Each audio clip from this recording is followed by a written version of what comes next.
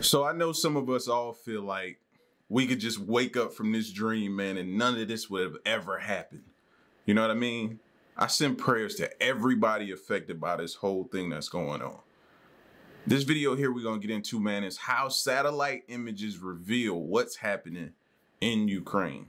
All right, so if you're new, you know what to do. Hit that subscribe button and join the fam, and let's check this out. It's been nearly one year now since the Russian Federation invaded Ukraine and sparked the biggest war seen in Europe since 1945. Over the past 12 months of this raging conflict, Europe has experienced more historical tremors than it had in decades beforehand.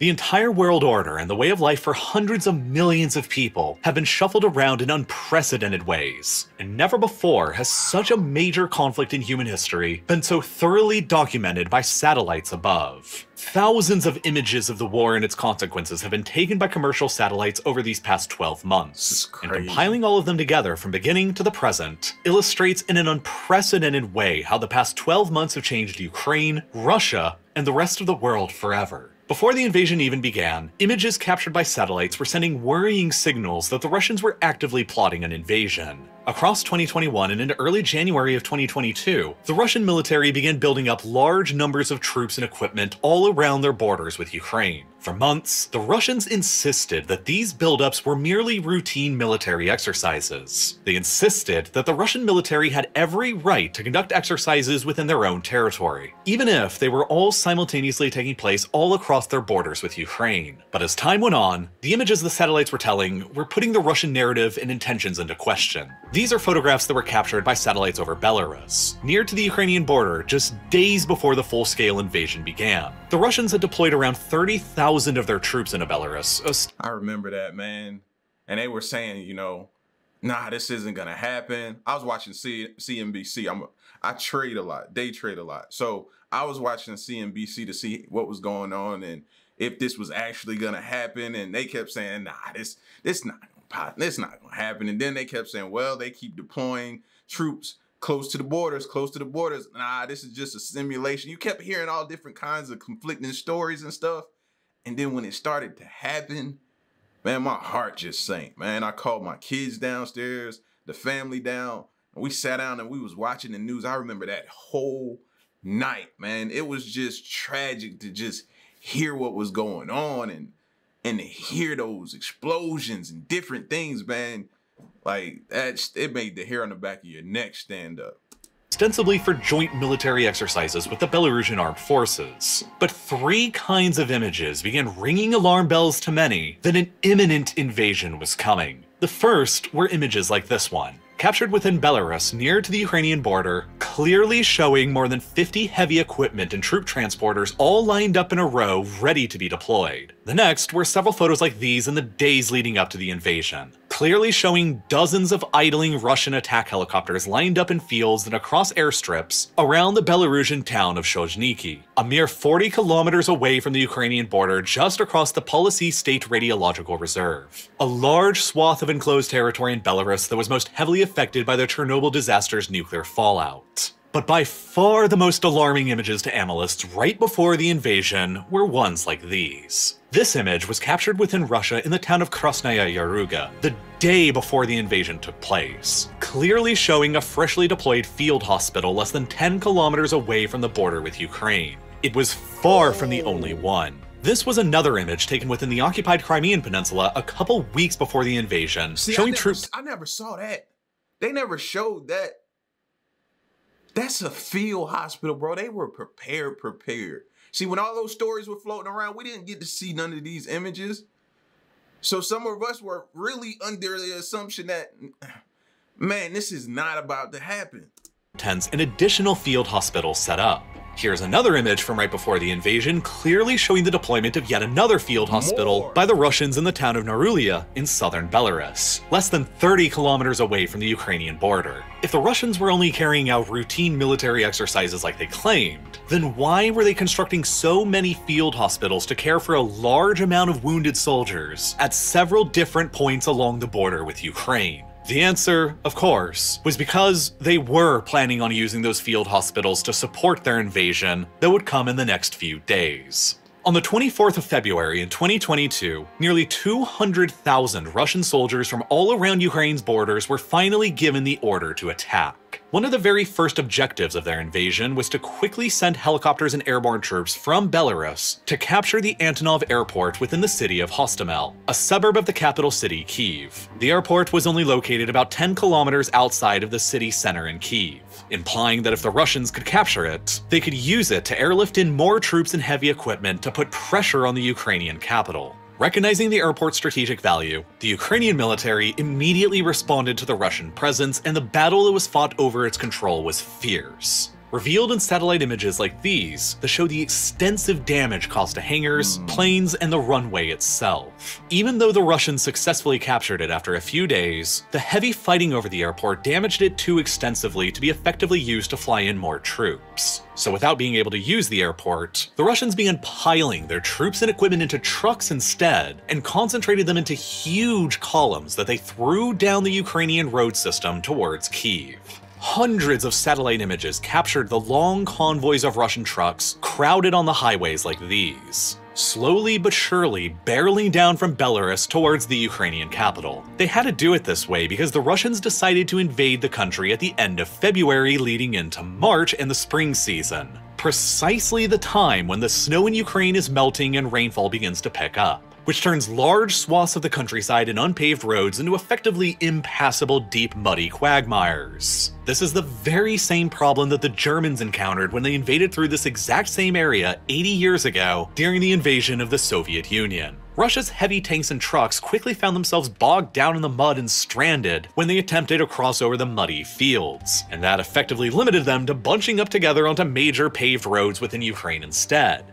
At one point, a nearly continuous convoy of Russian military vehicles consisting of around 15,000 Russian troops spanned for more than 60 kilometers between these two cities as it approached Kiev. But concentrating onto paved roads like this made them easy targets to Ukrainian drones and partisans, because their movements were predictable and their locations were easy to spot. The 60 kilometer convoy of trucks and tanks barreling towards Kiev quickly stalled out in a traffic jam of their own making running low on fuel and food and beset by poor maintenance conditions and attacks from Ukrainian drones and partisans, they never made it to attack the capital and would eventually withdraw completely by the beginning of April. In the opening days of the war, millions of Ukrainian civilians decided to flee from the violence and escape towards safety in the European Union. This image was captured by a satellite just four days after the invasion began at a major border crossing between Ukraine and Hungary, showing a long queue of cars from the Ukrainian side all lined up to cross into Hungary. As the Russian military convoy inched ever closer to Kiev across March, more and more civilians oh, decided to leave from the city. As captured in this picture Just of- imagine what they were thinking, what they were going through.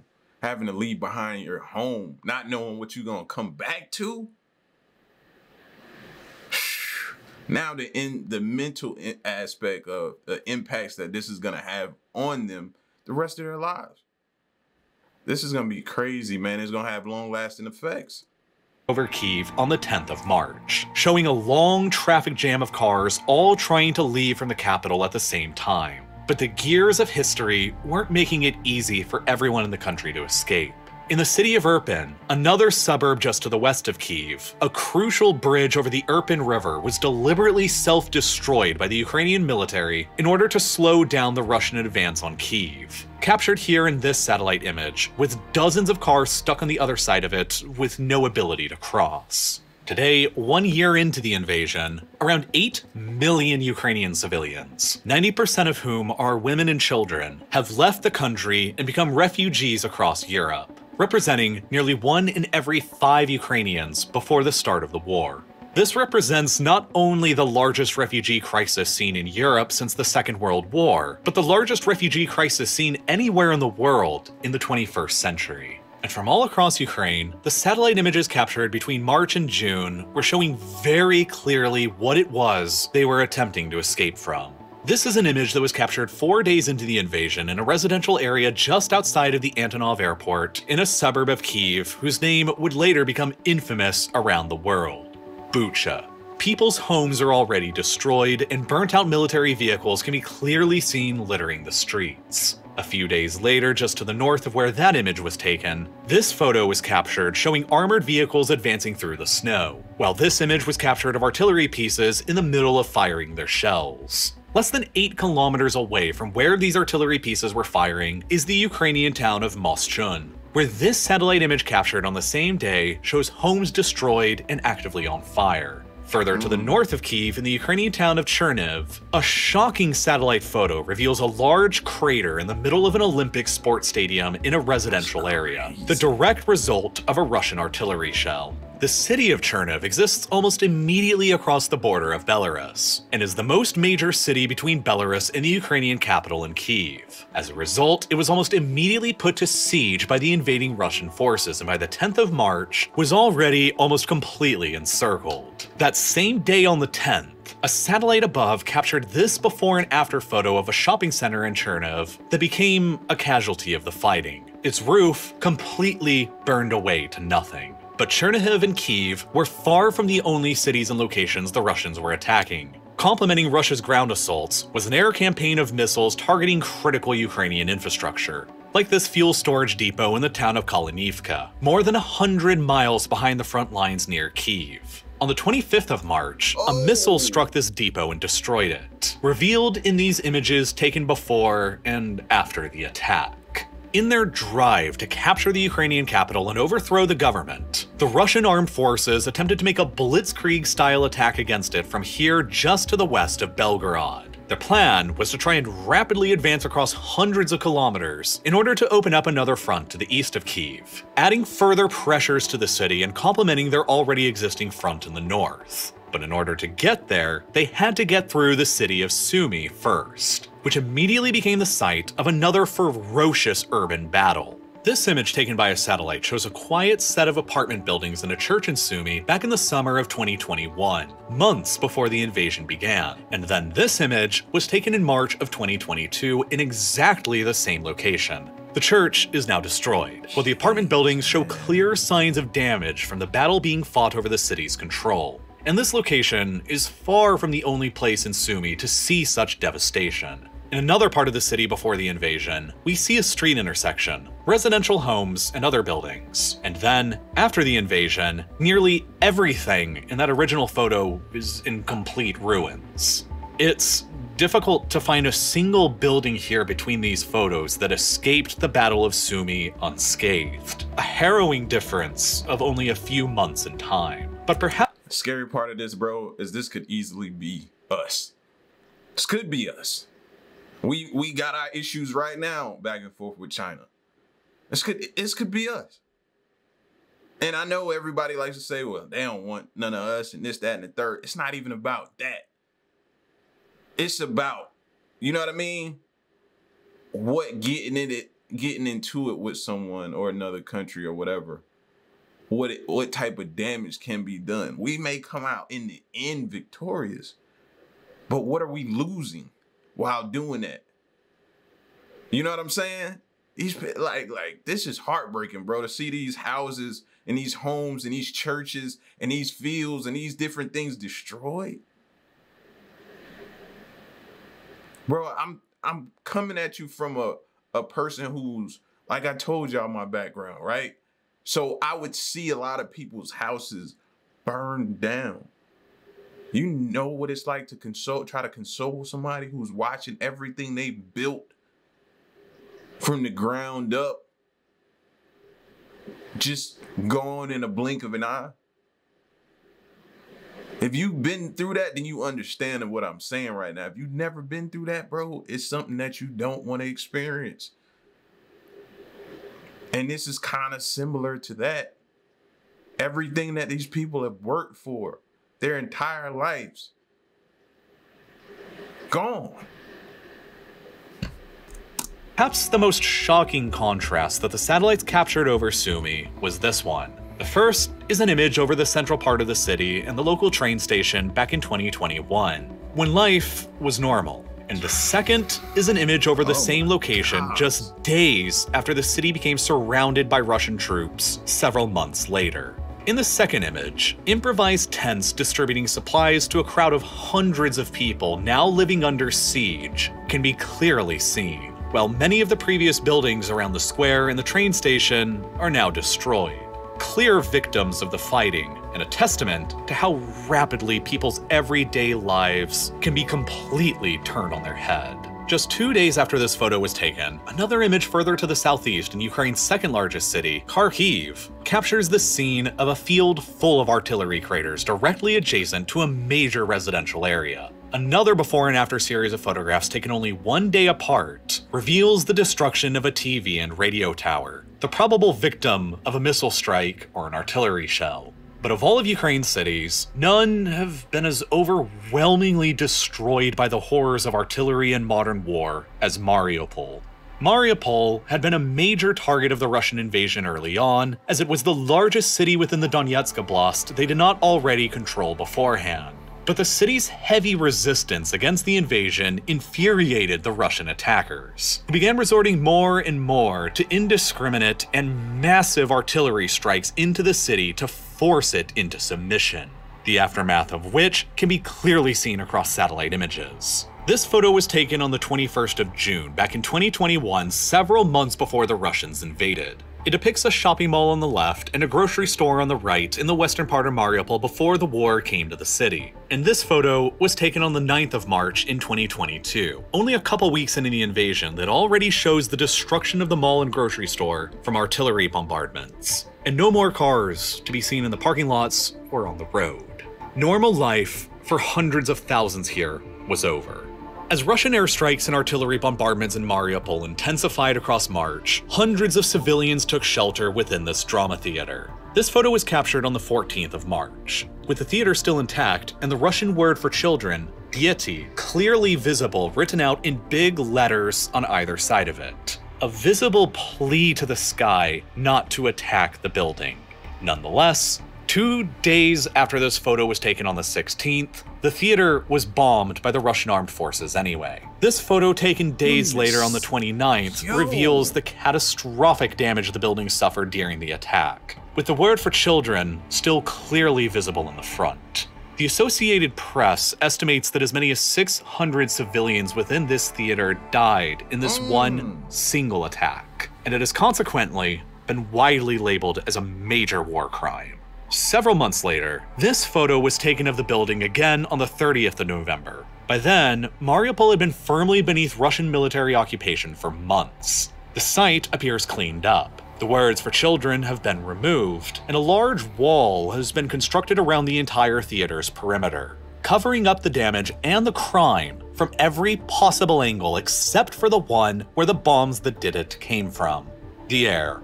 But before the Russians completed their occupation of Mariupol, the city would burn and be largely reduced to ashes. Countless photos from satellites show the unbelievable extent and scale of the destruction that Mariupol has experienced. All of these photographs were taken across March Those kids had nothing to do with this.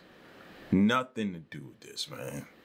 April, and May, as the Russians bombarded the city into oblivion and slowly moved in to capture the ruins. The United Nations would later conclude that at least 90% of the residential buildings in Mariupol had been damaged or completely destroyed during the siege and the fighting, while the Ukrainian authorities estimated that tens of thousands of civilians had lost their lives within it. This makes Mariupol the most heavily destroyed city in Europe since the Second World War, and puts it on a comparable scale to the devastation seen in Warsaw between 1939 and 1945. It's also important to remember that when looking through these photos that before the invasion, Mariupol was a major city home to around 450,000 people who lived ordinary lives just like you or me. This was another photo taken over Mariupol by a satellite on the 21st of June in 2021, several months before the invasion took place. It depicts a shopping mall and the banality of everyday life as normal. People driving to shop for clothes or pick up their groceries, completely unaware of the gears of history shifting against them.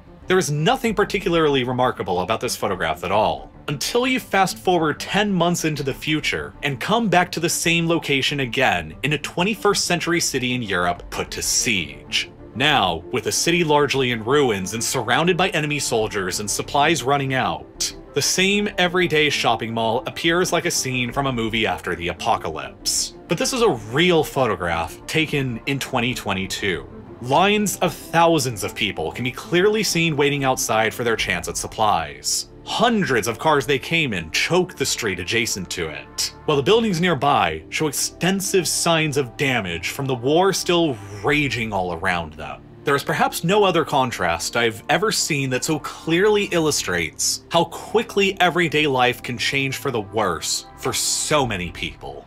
But across Mariupol doesn't. That's why I be saying, man, we be walking around all naive in our little bubble, like nothing can happen. And you could see in 2021, they were doing the same thing, just living their everyday normal lives.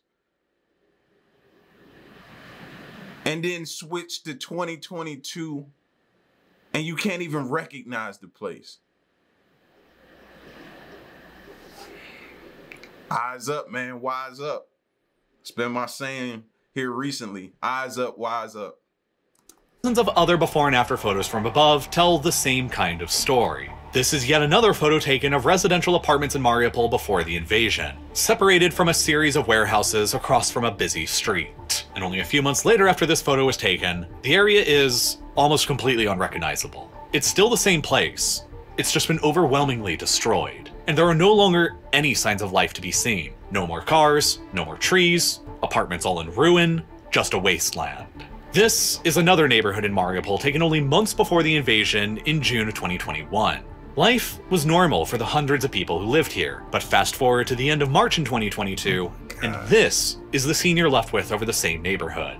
Nearly everything is destroyed, while a roadblock can be seen across the street here that's attempting to limit the direction of enemy vehicles. Eventually, by the end of May, surrounded by Russian forces and out of supplies, the Ukrainian defenders in Mariupol were left with little other choice but to surrender. To date, when this video was produced in February of 2023, Mariupol has remained under Russian military occupation for the past nine months. The evidence for which can be seen through these before and after satellite photographs that capture the sudden construction of a Russian army facility within Mariupol during the occupation. And while the Russians have been building new army bases in the occupied city, they've been demolishing damaged apartment buildings as well. This image was captured of a damaged apartment complex in Mariupol at the end of March when the battle for the city's control was still going on. And this image afterwards was taken in November, months into Russia's occupation, showing the total demolitions of at least seven of the apartment buildings in between that time. This next series of photographs shows a very similar series of events taking place. The first captured in March of damaged apartment buildings from Russia's massive artillery fire, and the second captured months later in November, with Let's most of the tore 'em all damaged apartment down. buildings completely demolished. The excavator still present, cleaning up all of the rubble and debris left behind.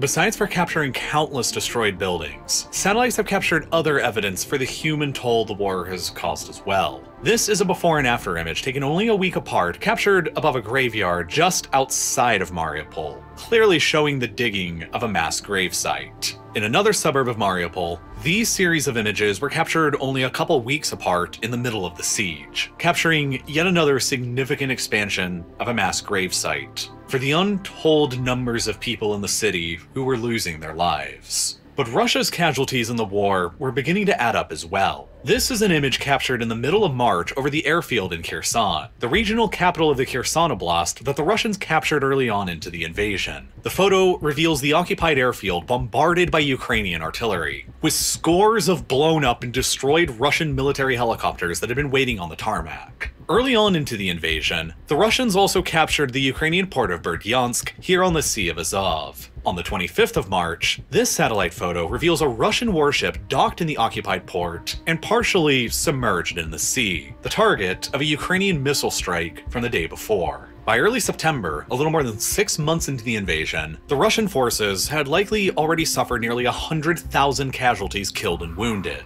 approximately half of the force they had used to initially invade Ukraine with. Unable to find enough volunteers to replace these battlefield losses, the Russian government announced a partial mobilization order and the conscription of 300,000 additional men to be sent to the front. Gripped with panic that Imagine, imagine out of those a hundred thousand, right? And we're just taking that number of the Russian soldiers, bro. Who probably didn't even want to be involved or doing this. Imagine that. And that's not to say that people don't take pride in standing up for their country, whether or not they agree with it. I'm just saying, just imagine that. The lives, bro. Like out of all the arguments you try to proclaim and, and say and prove and understand and explain that this is history and this is what happens and we've been through it before and you name and you reference and you do different things, it's still a life loss. It's still a family who's losing a loved one out there. I bet if you ask them how they feel about it, they could care less about what it's gonna mean for history. They give anything to have that loved one back. And that's the part of me that just, I just can't. I just cannot, man. I cannot. I'm pro-life, bro. I want everybody to to come always come home to their family. You ever been torn away or lose a loved one? I ain't no way to replace that. And I get I get the other argument side of it that y'all are trying to make. I get that. They too could suddenly be served with draft papers and sent to the front line. An estimated 700,000 young Russian men chose to take fate into their own hands and fled the country within only the first. How many?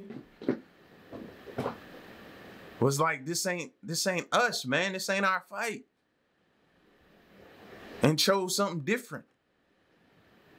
And it ain't because they ain't got respect. So don't look at it like they ain't got respect for their country. But they be may be looking at it like they got respect for those on the on the other side that ain't got nothing to do with this power struggle. This is crazy, man. This is crazy. And to see all of this, when you look at the news, sometimes you you watch it a little bit and then you watch enough of it to where you can't stand it, you walk away from it. So when you sit down and watch a video and it takes you from start to from from the past to the present of it, the beginning to where it is now, and seeing all of the carnage and all of the damage and destruction and everything all up in one 30 minute video, bro, it's a lot. It's a lot. You sit back and you look at this and you just, you're just disgusted that all of this had to take place. Why? First two weeks after the mobilization order was announced. They loaded up into cars and escaped to whatever neighboring countries were still allowing them in, as captured in these series of satellite images over the border between Russia and Georgia near the end of September. Cars, trucks, and buses full of Russian men seeking to escape from the draft can be seen lined up in front of the border checkpoint into Georgia for dozens of kilometers. Around a and that's got to be one of the most nerve-wracking drives in your life you ain't comfortable. You steady looking up, steady listening, hoping you out you you in a safe zone. Quarter of a million Russians would enter Georgia in September of 2022 alone, all in a country with only around 3.7 million residents, meaning that the Russians escaping into Georgia in September alone represented around 7% of the entire Georgian population. Meanwhile, the situation on the ground in Ukraine for the hundreds of thousands of Russian men already there was growing worse and worse all the time. The Russians were struggling to adequately supply their forces on the southern front around Kherson, because the Ukrainians managed to blow up a critical piece of Russian infrastructure right here the Crimean Bridge across the Kerch Strait. You see, after the Russians invaded Ukraine for the first time back in 2014 and occupied and then annexed the Crimean Peninsula, there wasn't any road connecting Crimea over to the Russian mainland. More than 2 million people lived within Crimea, and that meant that the only ways to supply their position there was either by sending them overland through Ukraine, which Ukraine wasn't exactly in the mood to allow for some reason, or sending them in by ferry or by plane, which limited the numbers of supplies the Russians could get in. That's why, over a period of years, the Russians constructed the longest bridge in Europe across the Kerch Strait, the Crimean Bridge, a dual use road and railway bridge that enabled Russian trucks and trains to directly transport supplies, equipment, and troops from the Russian mainland into Crimea without having to route through Ukraine. Obviously, after the Russian invasion of the rest of Ukraine in 2022, the bridge was being used to support the Russian front line just to the north of Crimea in the occupied section of the Kherson Oblast. That made the Ukrainians consider the bridge to be a valid military target. And on the 8th of October, a bomb went off that took out a section of the road side of the bridge, captured in these satellite images taken only hours after the attack. The blast was powerful enough to send large sections of the roadside into the sea,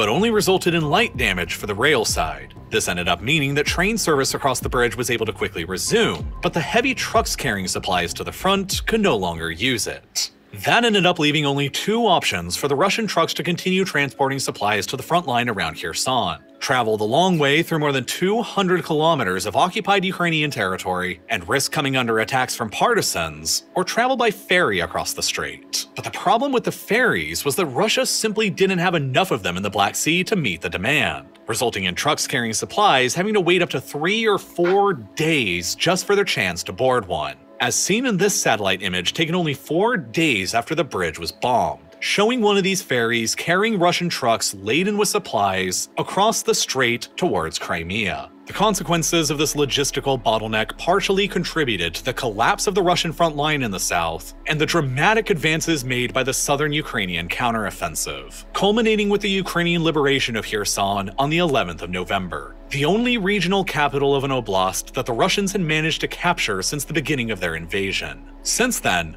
However, the ferocity of the war in other places, like in the Donetsk Oblast near the towns of Bakhmut and Soledar, has reached unprecedented levels unseen in Europe since the Second World War. This is an image captured over a field in the Donetsk Oblast in June of 2022. Hundreds of craters from artillery shells litter the field in a scene that appears reminiscent of the Western Front in France during the First World War. But this is Europe in 2022, not 1917, and it's far from the only example that looks like this. This is another field just outside of Bakhmut that was captured only a month before I produced this video in January of 2023. To the untrained eye, a scene like this may be confused with being the surface of the moon rather than a battlefield in modern Europe. Fact. Over the past several months, Bakhmut and Soledar have become the epicenter of the war's fighting, and the scenes of the heaviest combat scene in Europe since the two world wars, as evidenced by these next harrowing before and after scenes. This is a photo. How long do y'all think this can continue? I didn't even think it would make it this long. How long do y'all think this can continue? Captured of a series of farm buildings in the rural town of Yakovlivka on the 1st of August, right before major combat operations in the area began. And then this is a photo taken over the exact same area just five months later in January of 2023, showing the complete devastation the fighting has brought to the whole area, with every one of the farm buildings in ruins. Nearby in the salt mining town of Soledar, this image was captured on the 1st of August in 2022 at the beginning of the battle over the city. Large apartment buildings and houses can still be seen almost totally intact. But fast forwarding only five months into the future to the 10th of January in 2023 reveals a truly apocalyptic level of destruction. Nearly everything from that first photo has been destroyed to a point of no longer even being recognizable as the same area with every apartment building, tree, and house in complete ruins, and hundreds of artillery craters left behind. And then, nearby to Soledar in the town of Bakhmut, another series of before and after photographs captured between August and January illustrates that town's annihilation as well. Another shocking testament to how human beings' everyday lives can be completely upended and destroyed in a matter of months because of the decisions made by a few. Had we had satellites over Europe during the Second World War, the images we would see of the conflict in our history lessons today would probably look almost identical to these ones. But perhaps the most harrowing thing of all that the satellites have captured over Ukraine these past 12 months has been what's been happening to the country's lights at night. Before the invasion, satellite maps over Europe looked pretty much like this, with Ukraine similarly lit up like the rest of the continent and the world. But then, beginning in October of 2022, frustrated by their military defeats on the battlefield, the Russians began shifting to a strategy of deliberately bombing Ukrainian civilian energy infrastructure in order to deprive millions of Ukrainian civilians of critical electricity and heat, leading into the frigidly cold winter months. It is a cold strategy designed to try and crush Ukraine's morale on the home front in which the Russians have fired more than a thousand missiles or drones at Ukraine's infrastructure in only a couple of months. By the end of November, the results of these attacks had already destroyed around half of Ukraine's energy systems, and half of all the Ukrainian civilians still remaining in the country were left without electricity or heat. The results of these attacks, combined with more than 8 million people leaving the country altogether, has resulted in the almost complete darkening of Ukraine at night. The whole country That's now crazy. appears as a giant dark spot in the middle of Europe at night, as if it was something like North Korea. The borders that Ukraine shares with Russia, Moldova, Belarus, and the European Union dirty. can all clearly be seen right now from above at night, since all of those countries still have their lights on. While the Crimean Peninsula, still occupied by the Russians and thus not subjected to the withering Russian missile attacks, remains bright and lit up a symbol from above of Russia's territorial conquests and occupation. Only scattered lights across Ukraine remain in major cities like Kiev, Odessa, and Lviv, while the countryside is nearly a total sea of darkness. Perhaps more than anything else, this contrast shows clearly how a country of more than 40 million people in Europe is being actively put to siege. I wish I could tell you This is the, this is a serious chess game going on between them two, bro. Seriously, when you start doing things like that, and the war will be over and peace will return. But the honest truth is that nobody knows when that will happen, and I expect it unfortunately won't be for a long time more. All in all, the use of open source intelligence like satellite imagery has revealed key developments in the war in Ukraine. But it's also important to verify what you're actually seeing is really true, and today's sponsor, Ground News, is that's the end of the video, man. I hope seeing this softens some of the hearts that were hardened and really didn't care or talk down or or really had a lot of negative to say things to say about what was going on and, and wasn't mindful of the people and what they were going through.